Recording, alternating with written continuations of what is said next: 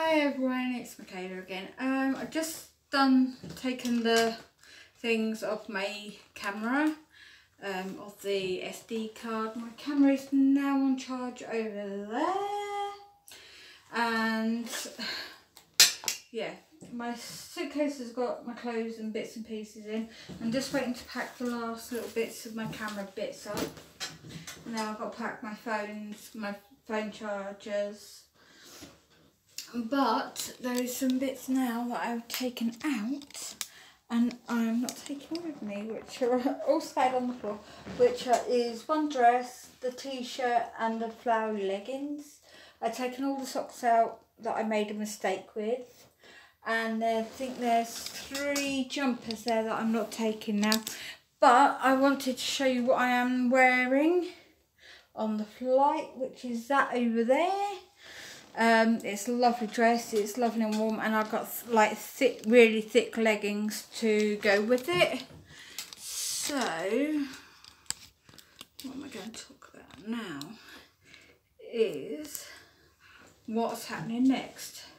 So what's happening next is I'm waiting for my phone to charge and then I'll put it back in its pouch the little charging station and I will go in I'm going to use one of these pouches.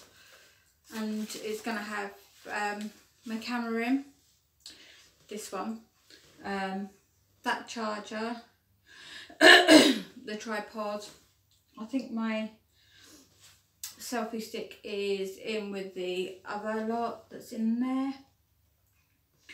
Um, all I've got to pack now is just my phones and the bits and pieces that I need plus like my passport and things like that. Well, everyone's passport because I'm the passport keeper. Um, I've got to change my some of my cards over just in case.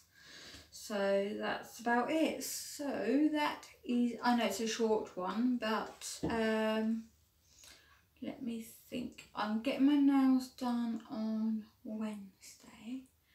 So I might do a quick video on Wednesday. Um, yeah, so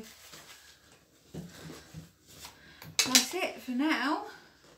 And I hopefully will be um, vlogging when I go to Budapest.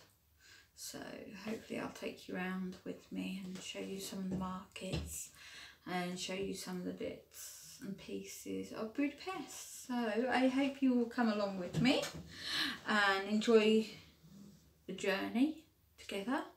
So apart from that, that's it from me for now. So goodbye.